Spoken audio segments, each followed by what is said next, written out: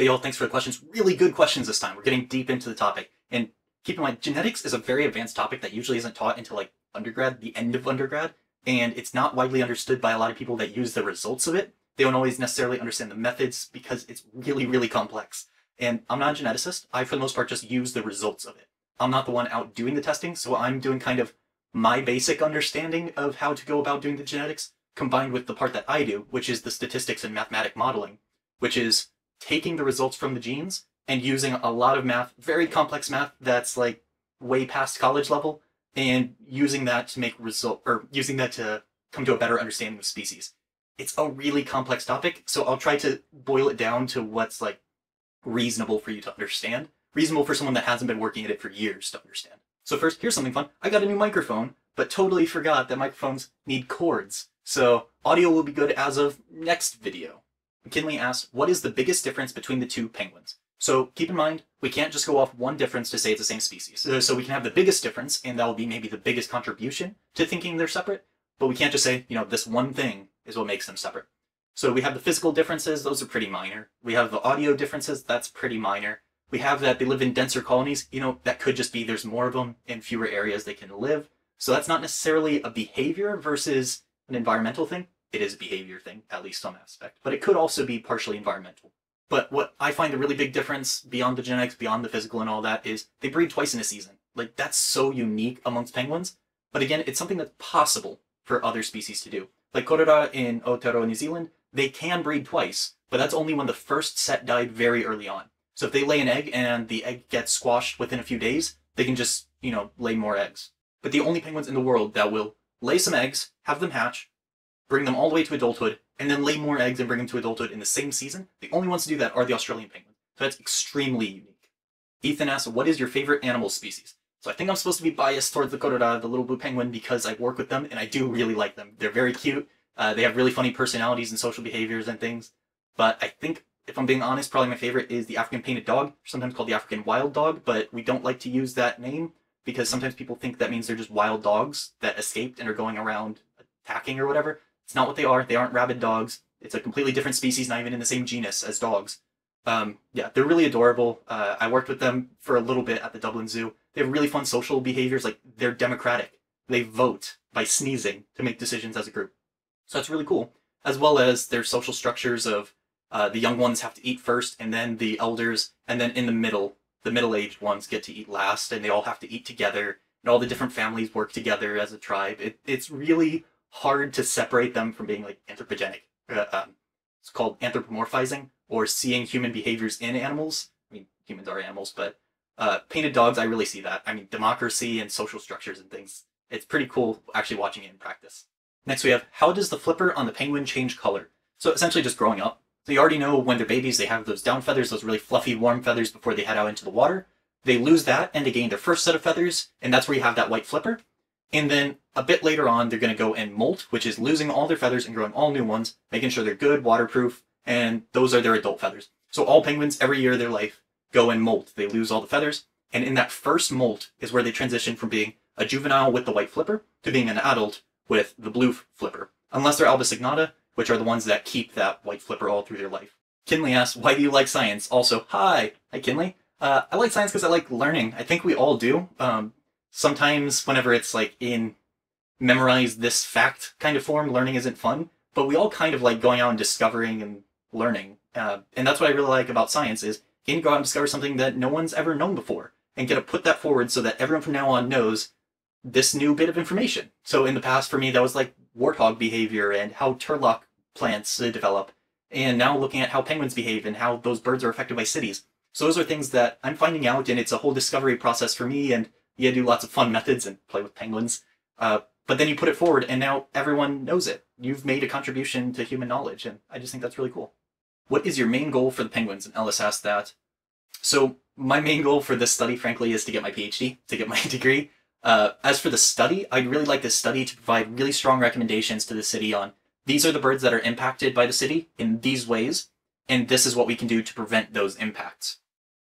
As for the penguins specifically, I would love for them to have their species split up. That's absolutely necessary to protect penguins in Aotearoa, New Zealand. is to have them recognized as a separate species from Australia. Like I talked about in the other video, they aren't considered endangered because there's tons of them in Australia, but they're really not doing well here in Aotearoa, New Zealand, and they need to be split up for that. So that's like priority number one, get them split up as a species. Uh, I'd like to have more safe places for them to nest because there's predators everywhere. I want more predator-free areas for them to nest and recolonize so that they aren't bunched into a really small area. And most generally, just allow them to continue thriving near cities. Find the ways that cities can have less of an impact on them so that they can continue living nearby. Because, I mean, who wouldn't like to see a penguin on the way to work every day? And that's just the human centered aspect. They have a right to live here. Humans weren't here first, the penguins were, and then when we moved in and kind of kicked the penguins out. So I'd like them to be able to survive in their home, and that's really important to me. What is your favorite picture that you took? Ooh, I take a lot of pictures. Like I take a thousand probably pictures each time I go out and do some work. So there's a lot of pictures competing for that. Maybe you can vote on this. So what's immediately coming to mind is picture of a shy kaka right here, or the parrot. I uh, saw that at Maungatautari over the over the holiday break when my family was here. Uh, also a takapu looking up its parent's beak, looking for food. A very hungry little baby takapu looking for food because, like birds, they regurgitate to feed the babies, and the baby was very hungry right there. Um, also going further back into the past, this picture of a bald eagle eating a seal. My mom and I saw that in Homer, Alaska last year. And then also I'm thinking this picture I took of Steall Falls in Scotland a few years back. Those are probably the ones that most immediately come to mind as my favorite ones that I ever took. Carly asked, what is your favorite dog breed? I have a chocolate lab named Jazzy. Oh, I like chocolate labs. They have really fun personalities to them. Definitely my favorite dog breed is Husky. My mom's taking care of my Husky Fen, he is the greatest dog in history. That's scientifically proven. We have all the paperwork proving he is the best dog in history. Uh, and even before him, I had other Huskies, and they're just so fun. They're tons and tons of work. Uh, very energetic. They shed everywhere. They're very rebellious. But the energetic is also a fun aspect to them. The rebellious aspect also pretty fun. Uh, they just have really goofy personalities. I really like Huskies. Plus, they're just gorgeous.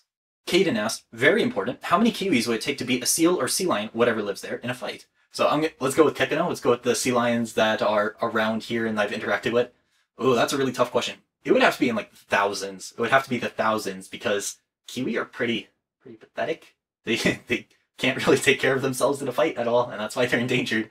Uh, I think it would literally have to be enough Kiwi stacked on top of a Kekeno that it would like collapse the Kekeno's bones or something. Kiwi are pretty pretty weak. It would be thousands. Carson and Isaac asked, why do you speed up your videos? Uh, so I don't take up your entire class, uh, so that it takes up less time. As well as I only do it for like segments that I feel I was speaking really slowly. Usually I just try to speak faster so it's less of an issue. Also, I, I suggest you go look at some other YouTube videos. There are no YouTube videos, or very few YouTube videos, that aren't sped up. Pretty much everyone speeds up the videos, or at least clips out any dead moments where they're saying uh or breathing in, those sorts of things. What is your favorite part about New Zealand? Uh, so definitely the nature and the wildlife and everything. I mean, there's a reason they chose it to be Middle Earth. It's gorgeous, gorgeous landscapes and forests and all these incredible environments. Uh, they, I mean, Lord of the Rings didn't even touch on the marine environment, which is just stunning. Tons of gorgeous islands and yeah, it's a really beautiful landscape and environmental area. Mark asks, are you close with the penguins that you work with? Uh, so they change each season and they all pretty much look the same. Penguins aren't that diverse in appearance, so I can't always know if it's the same one. But yeah, sometimes you get kind of caught up in the story of a certain nest. Like there's one in particular I'm thinking of at Tawharanui that I saw when the chicks were still eggs, when they had just hatched a couple days before, when they were a few weeks old, when they were a few months old, and then right before they left the nest. Like I think it was literally they left the nest that very day because we didn't see them the next day. So it was really cool watching them grow up kind of in fast forward. In like three months, I saw them go from eggs to tiny little penguins to full grown ferocious miniature predators. And uh, that was really cool. Yeah, but it's probably not going to be the same birds each year, and we're not banding them because penguin bands sometimes have health issues, and it's not really important to our question anyway. So I'm not even going to know if it's the same penguins year in year out. So I get very attached to the species, and sometimes within a season I might notice certain stories, but overall it's not like I know this one and it has a name, that sort of thing. Can you please go into more depth in looking at the genetics part? Okay, so we're going to have to really dive in deep on this one. There's going to be some complex topics. So I'm going to have to assume you all understand the basics of genetics, you know, ATCG, and how they split apart and recombine and cell cycle and those sorts of things, because otherwise we're going to be here for hours. So working off that assumption. So most DNA doesn't actually make that much of an impact. So like humans have 3 billion base pairs in the human genome. And so that's like each pair of A and T or C and G. So 3 billion of those. Most of that doesn't actually code for anything. It doesn't actually make an impact. It doesn't say blue eyes, green eyes, uh, uh, tall, short, whatever. It doesn't do any of that. Most of it's what's called non-coding, and some of those non-coding ones control to what extent the coding genes uh, actually express themselves. So like the non-coding for tall could go wild and say you're Shaq, or it could the non-coding should could say that uh, it's not going to be that impactful and you get Danny DeVito. So non-coding isn't zero impact, it's just less impact. And a lot of those non-coding sections multiply. So you have a segment that says AT-AT. And for some people, it'll say AT-AT 20 times. For some people, it'll say it four times. And those are usually pretty distinct passed down from your ancestors. And if you look at enough of those segments, you can piece together who those ancestors were based on percentages. Like we know the AT-AT segment at this one point is seen in 2% of the population. And then at another point we have GCAT. And that one is seen in 1% of the population. And at another point, we have this certain segment in this one place that says TTTTTTT. And we know that, you know, 1% of people have that repeated six times. So based on all those different segments and how they recombine and how many copies you have, you can kind of piece together who you were related to in the past. So we have those 3 billion base pairs. Some of them are unique in that they're passed along from your ancestors. The reason they're unique is because about 1% of each base pair, or 1% of base pairs, each time that it's replicated, each generation, about 1% of base pairs have changed or mutated. So if you have a really distinct mutation in a certain spot, and then you pass it on to your offspring, they will have that mutation in that spot. And then the geneticist looking at it can say, okay, that's very unique. We can trace it back to this ancestor that developed that mutation. It's kind of like a game of telephone where let's say the person starting it says a normal sentence like Spencer's the best. And then you're going through and it changes slightly. It's like Spencer has always been the best. Spencer will always be the best. Spencer is great. Those sorts of things. And it's just, it's kind of the same thing as you move along, just normal facts like that. Uh, and then you get to a certain point and someone has a mutation and they just uh, say pizza is a really good food. Completely different from the rest of the telephone game. Um, mutations don't do it on purpose to mess with the game or whatever, like that probably would be in the game of telephone. Uh, so just by random chance, instead of continuing with small changes, there's a sudden, very distinct change. And that's a very significant mutation. So now everyone that talks about pizza from then on, instead of talking about me, which every conversation should be, uh, anyone talking about pizza then we know that they heard it from the person that made that mutation. And instead of it being a chain, it's branching. It's the person at the beginning said, Spencer is the best to two or three people, and each of those two or three people kept passing it along. But at a certain point in each of those branches, you're going to have someone that makes a significant change. You have the person that says pizza is the best food. You have another person that says New Zealand is a country in the southern hemisphere. And you have another person that says, I'm not sure whether peanut butter is solid or liquid you're going to have like random, really weird mutations like that, and those are very distinct. And there's a very small, like virtually zero chance that the person that changed it to a conversation about peanut butter will ever have their conversation about New Zealand match up together. And so in that way, we know those changes are very distinct to that lineage, uh, to that ancestor of the message. So that's the basics of how mutations works and how we kind of relate this one is related to this ancestor. It's the same way that we catch criminals with DNA, is looking at those areas that are different amongst humans, because the vast majority of DNA is identical between all humans. We're looking at those segments that are different and comparing. So an example right here, we have the word Eudyptula, and then we make small changes. We change one letter or one number each time to make it a slightly different message. And as you go further along, they're getting more and more different, and you can't even recognize them as coming from the same beginning. You have some things that are similar. You have the PTUL. So we know, okay, this is within the Eudyptula family, but then we can break it into the ones that have a seven in them. We have the ones that have a six in them, because those are very distinct changes at a certain point in the genome of the word that say these are related, these ones were descended from the same ancestor. So that's kind of the same way we do genetics, comparing subspecies and species. So we could look at the word Eudyptula as the species, and then the subspecies being the ones that have a 6 or a 7 or an 8 in them. That's essentially what it comes down to, but across billions of base pairs. And when I said humans have 3 billion base pairs, we do not have the most complex genome. Uh, there's a flower in Japan that has 159 billion base pairs in their genome. Lungfish have 130 billion. They're incredibly complex. Uh, and it gets even more for a lot of plants that have what's called polyploidy, which their genome might be, you know, 50 billion base pairs, but they multiply their genome eight times over. So they then have 400 billion base pairs. Um, so it's incredibly complex. But if you can find those really distinct beginnings, that tells you how they're related to either their ancestors or their offspring. And so if you remember the example that I had with the Turloughs in the last video, I had those two axes. So that was what I thought was kind of the best demonstration of how clustering works, how you determine this cluster is different from this other cluster. But let's get into the details of how it represents that. So because there's all those billions of base pairs and most are identical, we just throw out all the ones that are identical between every one we sampled. Because there's no point comparing, oh yeah, they both have an A in this spot. There's no point comparing them. So you just look at areas that are different between the ones you've sampled, and then you group them based on they have this segment, they don't. They have this segment, they don't. So the Turlough example, uh, axis 1 right there, is based uh, off mostly uh, ranunculoides and moss. So how much moss and ranunculoides you have is very heavily weighted to how far along that axis is.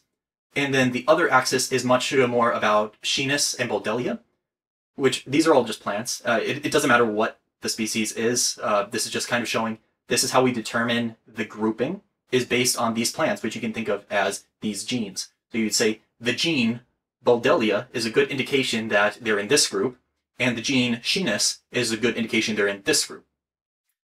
So you cluster using those types of indicators, and across a genome of billions, it's usually like 50 to 100 to 500 different, uh, different what we call loci, or different spots on the genome that have certain traits in them you might say they have an A in this one spot, so they fit in this group somewhat. Because you also have the ones that are just related. If I have this one mutation, there's a strong chance that I share this other mutation that popped up in the same ancestor and were passed on to all the offspring of those ancestors. So you have a lot of linked genes that are similar to other genes because they came from the same ancestor that made that mutation. The limitation of this process is it doesn't tell you how significant those differences, it's just comparing within those groups. And you have the out group, like I mentioned, you have like a king penguin, and you say, okay, this is how they're separate from king penguins. But you still don't get much indication of how separate you are within those clusters. And so another approach is called the phylogenetic tree. And it looks like this, uh, again for the Turlough example, because it's kind of a simplified form of genetics. It shows you where they split, but it doesn't necessarily give you a lot of information about how significant that split is. So you can see group 5 right there is very separate from groups 1 through 4. Yeah, but how separate? Is it, I mean, group 5, it could be a marine environment. It could be a completely different thing that we logically know isn't the same, but it would show up on the phylogenetic tree the exact same way. They split early on, but we don't know how early on that is. It could be a completely distinct thing with nothing in similar, with nothing at all similar between them, but it would still appear the same way. And then you can see within groups 1 through 4, you know they're all more closely related to each other than they are to 5, but how closely related? You have those other splits, but how significant are those splits? Are they species different? Are they subspecies different? Are they family different? Are they even like order different? Phylogenetic trees don't give you a great example of that, and neither do um, clustering on those XY axes. And that's why you need to have the other aspects to it. Do they interbreed? Are they physically similar? Do they behave the same way? Those sorts of things. So you have the clustering to show kind of how close, and you have the phylogenetic tree to show where the separations happened, so that you can have a sharper line for it. And so when we looked at the penguin genetics, not my study, this is another study, um, when we looked at that, it essentially said, yeah, they're group 5, they're separate, and they're closer than a king penguin, but how separate are they? They're not, like, they're definitely not closer to a king penguin than they are to other little penguins, but they are kind of separate, the Aussie penguins were more dissimilar between the Aotearoa subspecies because there's five different subspecies of Korora in Aotearoa, New Zealand, and the Aussie ones were separate from that, but only in the sense that they were less similar. It wasn't way off in the distance. It was just saying these five are pretty pretty similar relative to how similar this one is. So it can't just straight up say you are a different species. It could just be you're a less related subspecies. Jocelyn said, I like how you explained it. I personally don't think they're the same, but I can see the genetic thing. Yeah, I'm, I'm glad that it came across pretty clearly, but the genetic thing is just one aspect to it. Kind of like how you could argue that them being physically similar and having similar calls is an argument against splitting them up. You could say the genetic thing is the same. Uh, it's just one piece of the puzzle. It's not the whole puzzle, and it's not blocking off the puzzle as a whole. It's just saying, you know, they're kind of different, so maybe you could use this as some evidence for it, but it's not definitive. The same way them being slightly bigger is one piece of the puzzle, but you can't definitively say, no, they're not big enough or whatever. But I'm glad that came across really clearly. So have you experienced both of the behaviors personally, or is this off of different work? Uh, it's the Australian behaviors are off of different work. The Aotearoa ones are based off my work and the work of my colleagues in my lab. And that's because, like I said in the past video, Australian penguins have been very well documented, especially there at Phillip Island in Australia. They have so many articles on it and they have live streams and interviews and scientific articles and all those sorts of things. That just doesn't exist in Aotearoa for them. Uh, there's many fewer scientific articles published on them, and those that exist are mostly like a master's student project instead of like, I mean, not to put down the quality of master's students' work, but it's usually not at the level of a whole team of professional scientists. So a lot of it's that, a lot of it's very short term, and even within Aotearoa, it's focused in Otago, which is where the Australian penguins have recolonized. So a lot of the things that are like Aotearoa's penguins are really Australia's penguins. Uh, there have been very, very few studies of penguins in Aotearoa outside of Otago. And kind of like I brought up in the last one, the reason they're looking at those Otago penguins is because of the Australian behaviors, the ones that make them easier to study. That they all come up at once, that they live in dense colonies, that they breed twice, so you get two breeding cycles in a year. So I understand why they would be easier to study, but by focusing on those, you've kind of ignored this entire other group. Yeah, so essentially, no need to reinvent the wheel on the Australian ones, but the Korora really need to have the wheel built in the first place. Colleen asks, how come two horses or two donkeys can breed, but two mules can't? What makes them infertile compared to others? Is it just because they have mixed genes or both? Okay, so let's start with what donkeys and horses are. They're both in the same genus, uh, Equus, and that means they're closely related, but they are different species. So they're extremely similar, but they're different enough that they can't genetically intermix. Uh, they can't interbreed successfully. So donkeys have 31 sets of chromosomes and horses have 32 sets of chromosomes, or 64 chromosomes in total for the horses and 62 in total for the donkeys. And if you remember, when they're reproducing this whole cell cycle thing, you get the number in half. So horses contribute 32 chromosomes to their offspring. And if it's two horses, 32 plus 32 is 64, and they're back to where they started. With donkeys, 62 divided by 2 is 31. Uh, each of them contribute 31 chromosomes. 31 plus 31 is 62. But if you have one donkey and one horse, 31 plus 32 is 63. That's an odd number, so you can't split it down the middle for reproducing. That's not to say it's impossible, because it has been done before. I, I looked all over the internet and scientific records and things. I've only found two examples of mules breeding successfully before, and they were both when the female was the mule and the male was the horse, and both of those offspring died very quickly because they were kind of malformed from having mismatched chromosomes. And the reason mules are different from either horses or donkeys is because they have that mixture.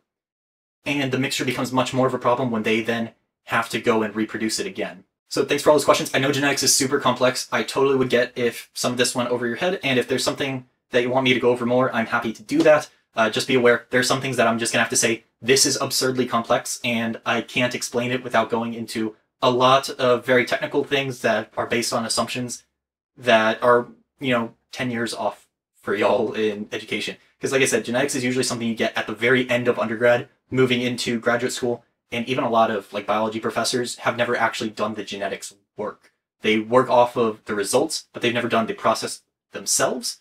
So there's a lot of complexities to it that are kind of hidden to anyone that hasn't worked in it for decades. So I'll try to answer it as best I can, but there are some things that are just, you know, beyond me, much less beyond the level of biology training y'all have had so far.